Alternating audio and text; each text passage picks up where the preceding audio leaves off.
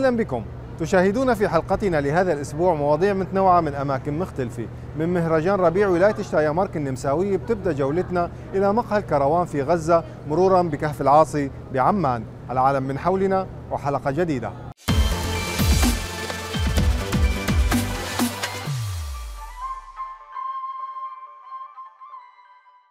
أهلا بكم من جديد. ربيع ولاية شتايمارك هو فترة سحرية من الألوان المذهلة للطبيعة والرقصات والحفلات الفلكلورية. أحد مهرجانات الربيع المتعلقة بها الولاية أقيم في فيينا للتعريف فيها وبسحرها وجاذبيتها. التفاصيل بهالتقرير.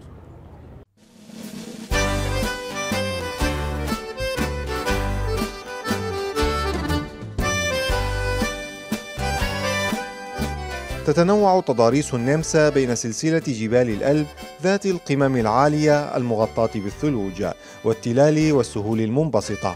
هذا التنوع جعلها تمتاز بطقس تتباين فيه الفصول الأربعة. بعد شتاء طويل وقاسي تبدأ الفعاليات والمهرجانات مع حلول الربيع كمهرجان ربيع شتايمارك الذي يقام وسط مدينة فيينا.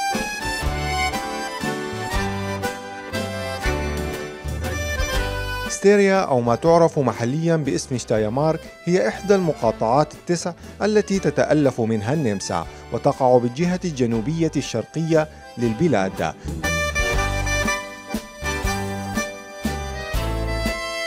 يطلق على هذه الولاية اسم قلب النمسا الأخضر كونها منطقة ريفية تحتوي على العديد من الغابات الخضراء كما تنتشر فيها كروم العنب ومزارع التفاح بشكل واسع.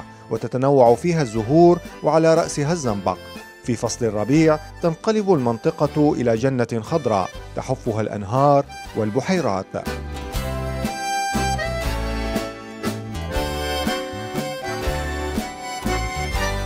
أقيم هذا المهرجان في فيينا بهدف التعريف بمناخ وطبيعة هذه المنطقة السياحية بالإضافة لعرض موروثها الثقافي التي تشتهر به. يلبس المشاركون بالمهرجان بالإضافة إلى بعض الزوار اللباس التقليدي فترتدي النساء ثوبا يدعى Dirndl بينما يطلق اسم Lederhose على اللباس المخصص للرجال. ومن ضمن فعاليات المهرجان هناك شرح كامل لللباس واختلافه بين منطقة وأخرى كما تختلف الألوان بحسب العمر والحالة الاجتماعية.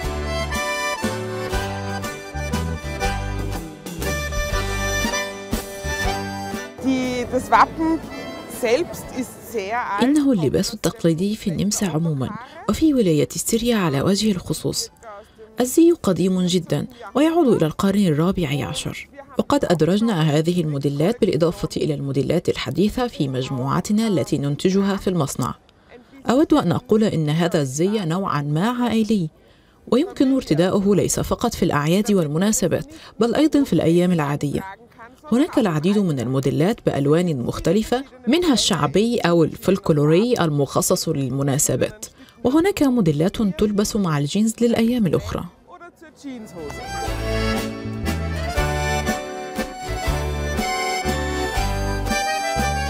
تعتبر ولاية شتايمارك من أهم المناطق السياحية في النمسا وتحتوي على مزيج رائع من سحر الطبيعة وعراقة التاريخ.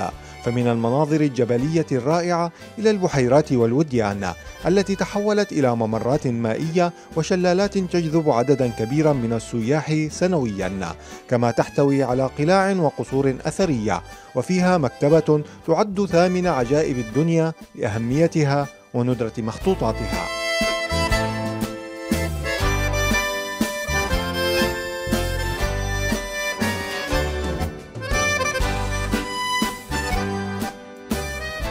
وبما أن المنطقة ريفية فإنها تشتهر بالزراعة وتنتج أنواعا عدة من المحاصيل كالعنب والتفاح كما تنتشر فيها الصناعات اليدوية كصناعة سلال القش. حيث يعتمد الحرفيون فيها على تقنيات مشابهة لتلك المستخدمة في أجزاء أخرى من العالم حيث يجفف الخيزران من ثم يقطع بأدوات مصنوعة يدويا ويرش بالماء لتسهيل عملية الغزل.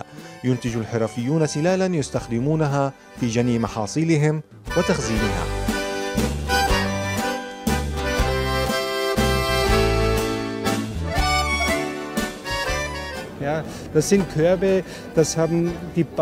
نحن نصنع سلال القش من أنواع عدة من النباتات كالصفصاف والخيزران حيث نقوم بتجميع الأعواد وتجفيفها ثم نقطعها على حسب قوتها إلى ثلاث أو أربع أقسام. من ثم قبل الغسل ننقعها بالماء لتصبح قابلة للطي. إنها حرفة يدوية تقليدية في ستريا وبورغينلاند وقد اعتاد المزارعون هناك على استخدامها ويفضلونها على السلال البلاستيكية. التقنية المستخدمة في الصناعة مشابهة لتلك المستخدمة في جميع أنحاء العالم مع اختلاف بالمواد المستخدمة.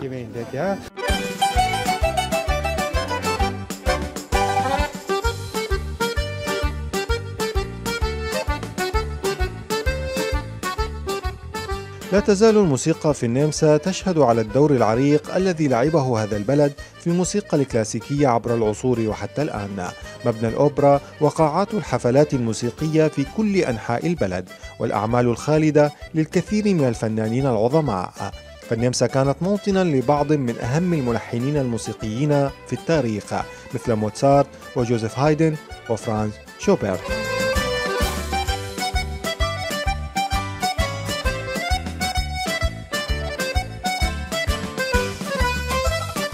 وخلال فترة حياة هؤلاء الملحنين كانت فيينا معروفة على أنها عاصمة الموسيقى في العالم. لذلك من الطبيعي أن يكون أكثر ما يميز المقاطعة ويظهر هويتها الثقافية هي الموسيقى الفلكلورية التي تعزف في المناسبات والأعياد. وترتكز هذه الموسيقى بشكل أساسي على آلة الأوكريديون إلى جانب الآلات النحاسية النفخية بالإضافة للجيتار. عروض عدة قدمتها فرق فلكلورية معروفة بالإضافة إلى العروض الموسيقية الكوميدية التي تظهر الروح الجميلة لسكان ولاية شتايمارك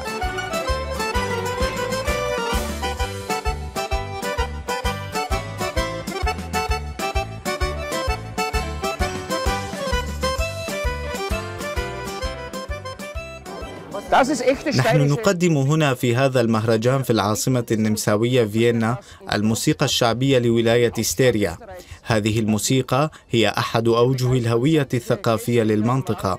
نحاول من خلال أغانينا الشعبية أن نجذب السياح لزيارة ولايتنا. إنها رائعة جدا وتستحق الزيارة.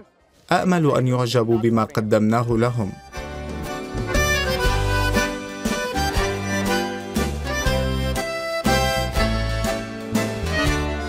عشرات الآلاف زاروا المهرجان على مدى أربعة أيام. منهم النمساويون الذين يعشقون الحياة الريفية فوجدوا في هذا المهرجان فرصة لزيارة الريف في قلب المدينة. وآخرون سياح يبحثون عن الأماكن النمساوية الخضراء المحفورة بمخيلتهم. ليقوموا بزيارتها لاحقاً.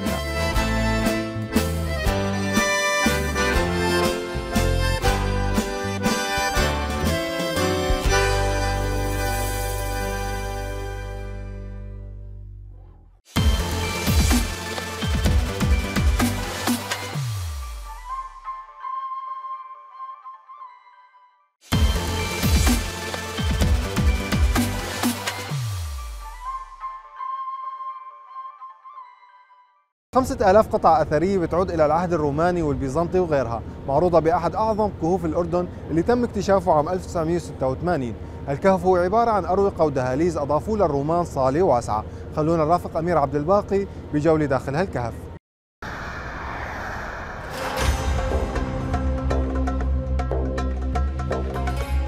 على مقربة من العاصمة الأردنية عمان أوصلتنا طرقات بلدة اليدودة إلى أحد أكثر الأماكن إثارة في المملكة.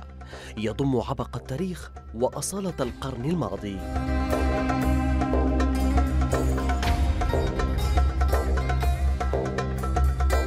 عشق الآثار وهواية جمعها من أجل الحفاظ على حضارة الأجداد قادت عاصي أبو جابر إلى اكتشاف أعظم كهف عرفه الأردن قرب منزله. كهف يقص بالفعل حكايا سنين غابرة مرت عليها حضارات وعصور مختلفة.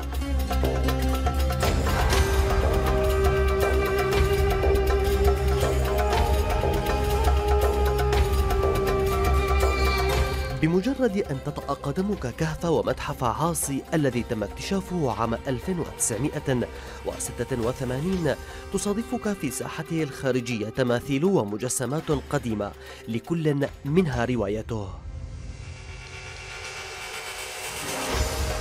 أعمدة استخدمتها الممالك القديمة في قياس المسافات وأدوات أخرى في طحن الحبوب وعصر الزيتون تعود لآلاف السنين. ولكن هذه الساحة بداية مشوار قد يصيب الزائر بالدهشة. كهف العاصي طبعا إحنا موقفين حاليا بالساحة الخارجية اللي بتحتوي على 500 قطعة أثرية بتعود لمختلف العصور القديمة أعمارها بتتراوح من 2000 عام إلى 3000 عام قبل الميلاد. كهف العاصي هو عبارة عن متحف تاريخي شامل لعدة حضارات تم تنسيقها من قبل الوالد لنعرضها في هذا الكهف للزائر. زي ما حكينا بمختلف شرائح الناس اللي بتيجي على المتحف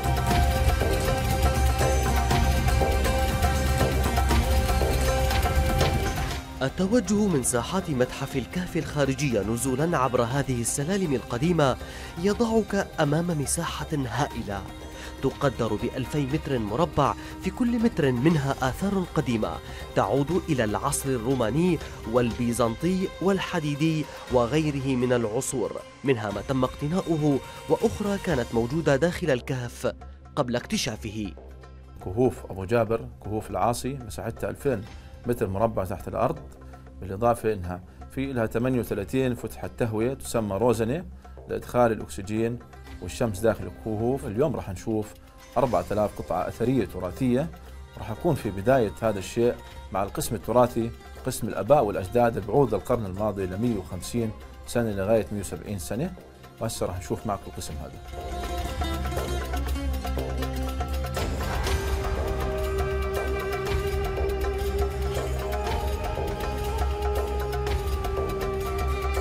الواح الدراس اللي كانوا يستخدموها للقرن الماضي بتعود هاي أعمارها 140 عام 150 عام. اللي كانوا يستخدموها في الزراعة في الحصاد للقمح والمذراء والشعوب والقبان اللي موجود عندنا بالقسم التراثي من الخشب. هذا ما بخلي هاي الشغلة نادرة جدا. موجودين بخدمة هذا المكان وخدمة الوالد. لنحافظ على أثار بلدنا تراث أردننا الحبيب في ظل القيادة الهشمية المعظمة.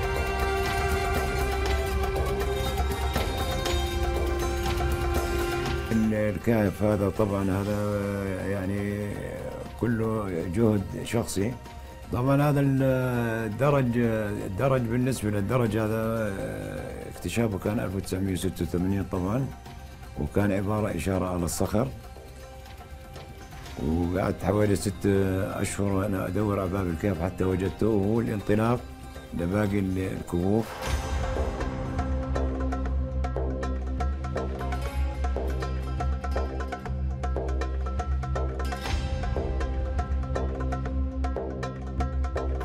تساؤلات كثيرة تجيبك عليها أكثر من خمسة آلاف قطعة أثرية على تنوعها.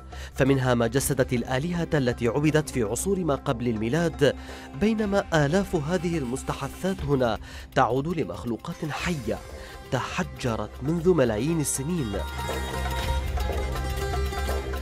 متحف في واقع الأمر هو الأول من نوعه تحت الأرض والذي جمع بين التحف التراثية والآثار القديمة.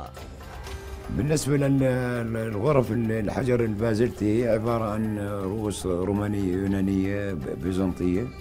وفي منها اللي كانت محطوطة على الرفاية هي عبارة عن آلهة كانت ما قبل الإسلام كانوا يتعبدوها. بعدين أنتوا رحتوا على قسم الرحى والأجران اللي كانوا يصحنوا فيها الأعشاب مشان الأدوية ومشان رصع الزيتون. والقسم اللي إحنا موجودين فيه حاليا هي عبارة عن تماثيل رومانية يونانية عصر بيزنطي عصر نبطي عصر حديدي وعدة عصور غابرة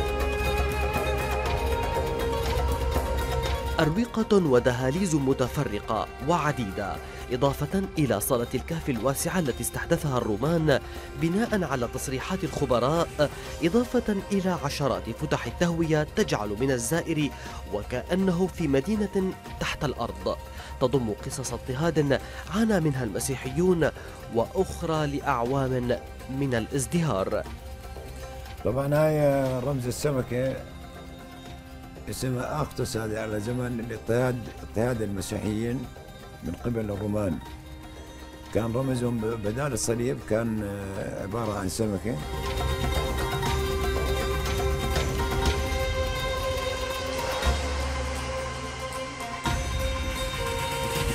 هو كهف بمثابة مدرسة يقصدها الطلاب ومعلم تاريخي يجذب السياح منذ أن تم اكتشافه ليتعرف الطلاب من خلاله على حضارات الأجداد وتراث موطنهم.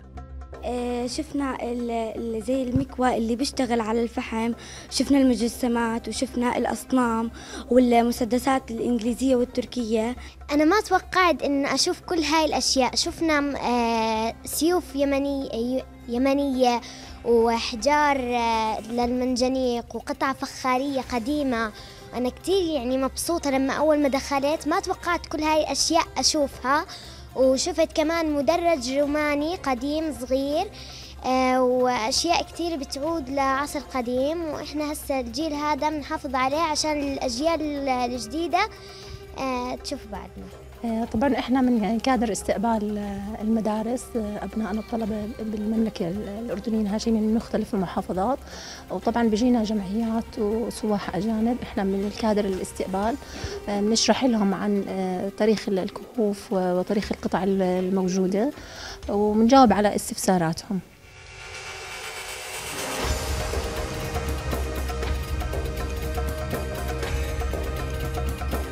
جهود بحثية فردية كشفت في نهاية المطاف عن كنوز تبحر برفقتها إلى حضارات عديدة. منها ما تم اكتشافه كهذا الكهف ومنها ما زال مدفونا يخفي أسرار عوالم كثيرة.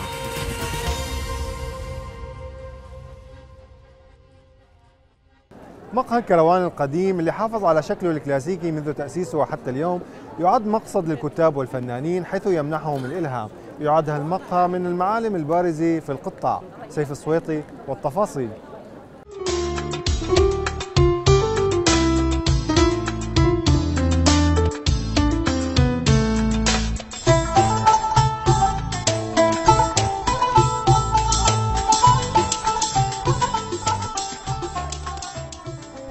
على شكله الكلاسيكي القديم ورغم العمران والحداثة التي تحيط به. يقف مقهى الكروان شامخا محافظا على أصالته وتاريخه القديم ليحتضن كل من يريد الهروب إلى الماضي ليفرغ فيه هموم الحاضر. حكاية هذا المقهى بدأت قبل أكثر من 51 عاما والبداية من تسميته قهوة الكروان والاسم يعود لكروانة وهي حبيبة صاحب المقهى التي لم يقترن بها فقرر تسمية القهوة باسمها تخليدا وحبا لها.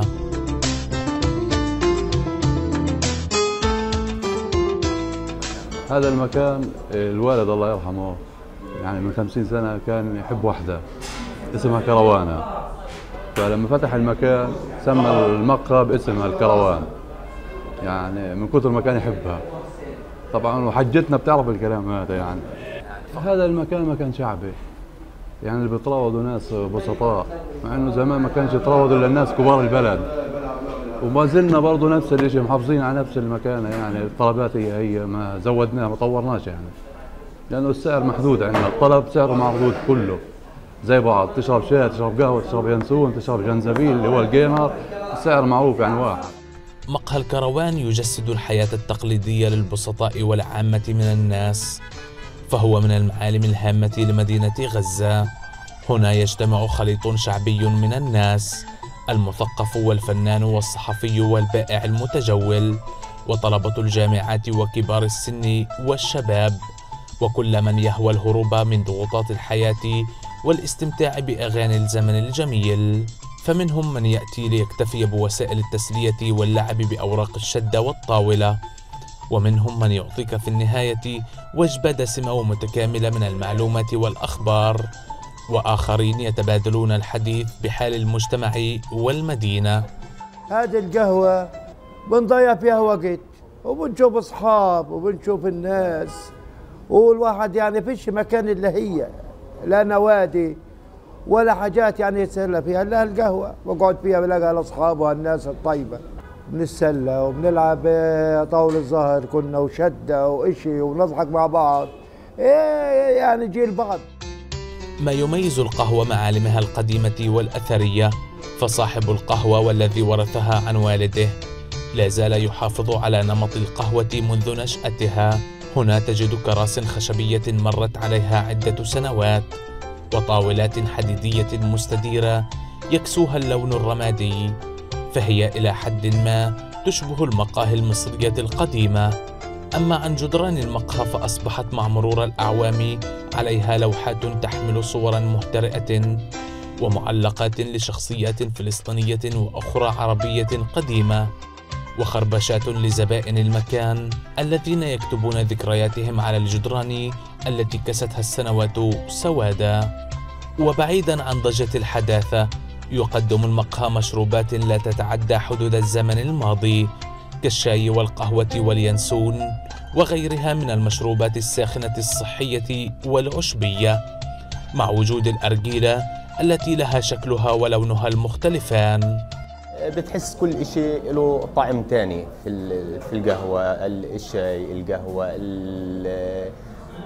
الحاجات البدائية اللي هم بيستعملوها في في المكان هذا إلها طعم تاني. بتحسسك بترجعك للزمن القديم الحلو الزمن البسيط.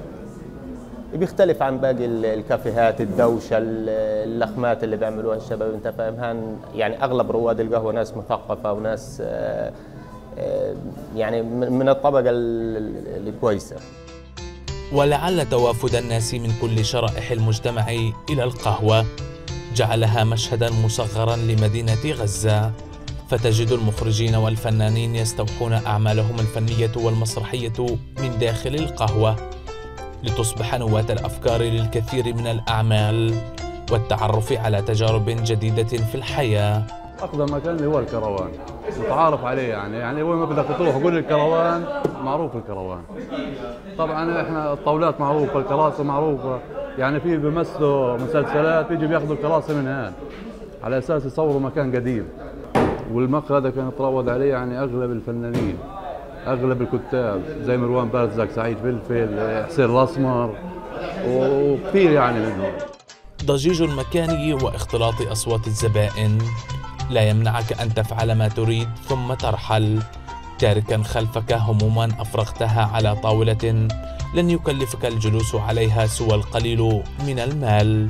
راحة قد لا تجدها في أكثر المقاهي حداثة وفخامة. أما الأسعار زهيدة وفي متناول الجميع فأنت لست بحاجة إلا إلى صديق أو فنجان قهوة أو بعض التأمل في ذكريات الماضي.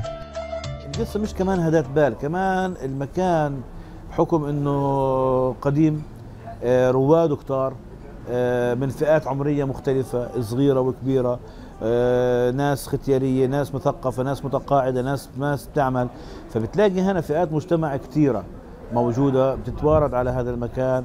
فممكن هذه تديك أفكار كمان في إنك تحدد شخصياتك اللي تشتغل عليها. يعني بحكي لك يعني أنا واحد من الممثلين أو المعدودين في في غزة. ممكن هنا ألاقي character ضايع مني أنا مش عارف أعمل ممكن ألاقيه هنا في أي شخصية. وقبل هيك صارت يعني قبل هيك صارت فعلا في مسرحيات مثلا استوحيت شخصياتها واستوحيت ال character العام تبع الشخصيات وأداء الحركة تبع الشخصيات من بعض الشخصيات اللي موجودة هان اللي أنا بجدها وبتطلع عليها وبتابعها من سنين وهي بتيجي بنفس الهيكلية بنفس الهيئة بنفس اللبس بنفس الحركة في هذا المكان. وجوه كثيرة تبدلت ووجه الكروان ما زال قائما شامخا. لا تتغير ملامحه رغم شيخوخة من كان يرتاده ووفاة صاحبه الذي نقل التجربة إلى أبنائه. ذهبت تلك الأجيال جميعها إلا أن أناسا آخرين ما زالوا يحاولون الحفاظ على هذا الموروث الثقافي والتراثي القديم. لهون بيكون وصلت حلقتنا إلى النهاية بودعكم على أمل إني ألتقي فيكم الأسبوع الجاي بنفس التوقيت. إلى اللقاء.